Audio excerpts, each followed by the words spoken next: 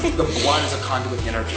We can feel the energy tingling all around our body. It's really intense awareness, like drinking a powerful cup of coffee.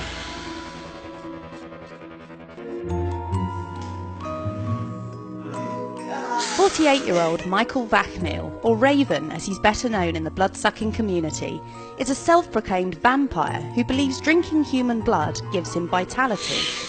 I started drinking blood shortly after my 13th birthday. It was during a very intense sexual act that blood was drawn and touched my lips. At that point, it was just an awakening. Something inside my mind and spirit woke up. Mm. His friend Blute, who's 28, has been entranced by the vampire community since she was a little girl.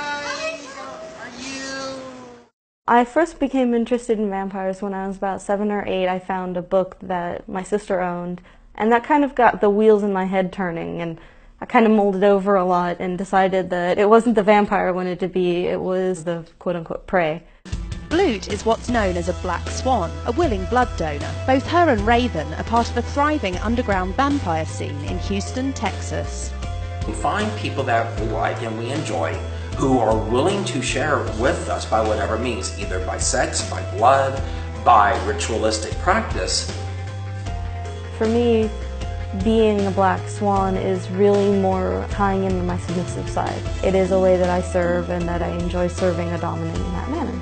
Sometimes it's a little bit like when you get the shiver all the way up your spine, because it's actually very pleasurable as well.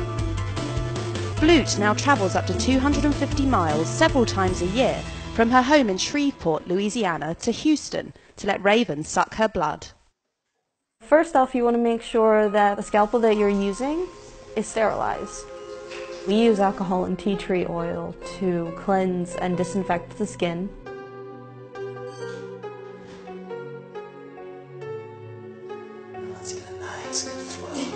Some people prefer to use their fingers. Generally, Michael and I, he does lick and suck it off.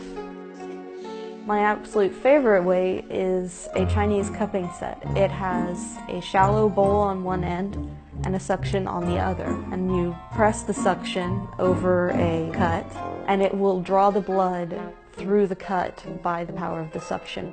Hmm. I'm not surprised. Hmm. The endorphins right now are flying really high.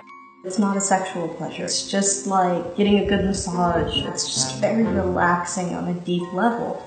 But the practice doesn't come without dangers. So of course there's the risk of AIDS and sexually transmitted diseases, but with risk management it is a lot less than most people would even think. Just don't donate to just anybody. A lot of people think that it's, oh, I'm a free buffet. Blute and Raven want the wider public to open their minds and mouths to the blood-curdling subculture. The social media around vampires, the Dracula, Twilight, and other such, they haven't given vampires a bad rap. They've humanized the vampire. With the swan, there's compassion, there's love, there's understanding, and that powerful mix of relationship and sacrifice and human bonding and connection with another person if there are people who are out there and are interested, actually do your research, get your proper tools, and make sure to sterilize skin and scalpels. And uh, don't fear us, we're not scary.